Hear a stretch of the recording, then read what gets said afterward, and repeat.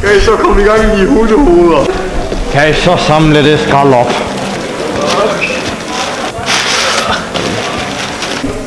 Jeg har en idé. Vi pakker bomber i julemandssæt.